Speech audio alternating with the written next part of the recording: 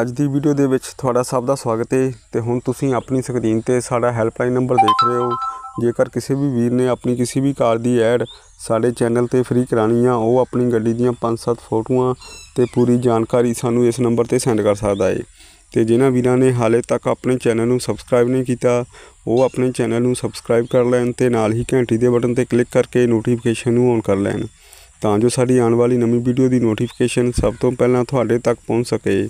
ਤੇ ਹੁਣ ਤੁਸੀਂ ਆਪਣੀ ਸਕਰੀਨ ਤੇ ਦੇਖ ਰਹੇ ਹੋ Hyundai i20 i20 sports 2012 model diesel variant ਗੱਡੀ ਆ। 1 ਲੱਖ ਕਿਲੋਮੀਟਰ ਗੱਡੀ ਚੱਲੀ ਹੋਈ ਆ। ਬ੍ਰੈਂਡ ਨਿਊ ਟਾਇਰ ਨੇ ਤੇ ਨਿਊ ਅਲਾਈ ਵੀਲ ਗੱਡੀ ਨੂੰ ਲੱਗੇ ਹੋਏ ਨੇ।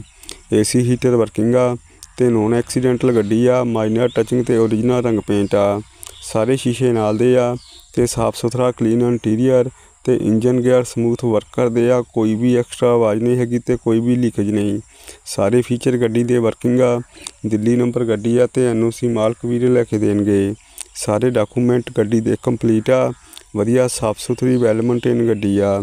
ਤੇ ਗੱਡੀ ਦਾ ਰੇਟ 195000 ਰੁਪਇਆ ਡਿਮਾਂਡ ਤੇ ਮਾਲਕ ਵੀਰ ਦਾ ਨੰਬਰ ਸਕਰੀਨ ਤੇ ਸ਼ੋ ਹੋ ਰਿਹਾ ਏ। ਇਸ ਨੰਬਰ ਤੇ ਕਾਲ ਕਰਕੇ ਤੁਸੀਂ ਹੋਰ ਜਾਣਕਾਰੀ ਲੈ ਸਕਦੇ ਹੋ।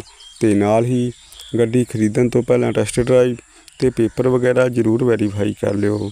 ਥੈਂਕ ਯੂ ਹੁਣ ਤੁਸੀਂ ਆਪਣੀ ਸਕਰੀਨ ਤੇ ਦੇਖ ਰਹੇ ਹੋ Hyundai Verna 1.6 2012 model diesel variant ਗੱਡੀ ਆ। 1 ਲੱਖ ਕਿਲੋਮੀਟਰ ਗੱਡੀ ਚੱਲੀ ਹੋਈ ਆ। ਬੇਦਾਗ ਸਾਫ਼ ਸੁਥਰੇ ਟਾਇਰ ਨੇ ਤੇ ਟਾਇਰਾਂ ਦੀ ਕੰਡੀਸ਼ਨ 80% ਤੇ ਅਲਾਈ ਵੀਲ ਗੱਡੀ ਨੂੰ ਲੱਗੇ ਹੋਏ ਨੇ।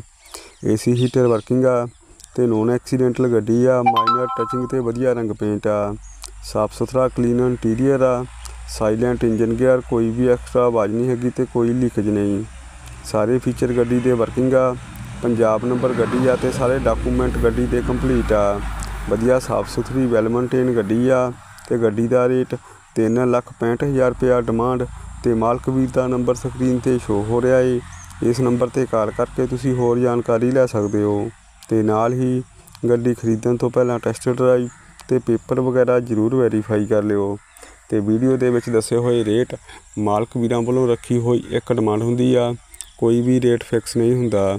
ਤੁਸੀਂ ਮਾਲਕ ਵੀਰ ਨਾਲ ਫੋਨ ਤੇ ਕੰਟੈਕਟ ਕਰਕੇ ਰੇਟ ਨੂੰ ਮਾਰਕੀਟ ਵੈਲਿਊ ਦੇ ਹਿਸਾਬ ਨਾਲ ਸੈੱਟ ਕਰ ਸਕਦੇ ਹੋ। Thank you.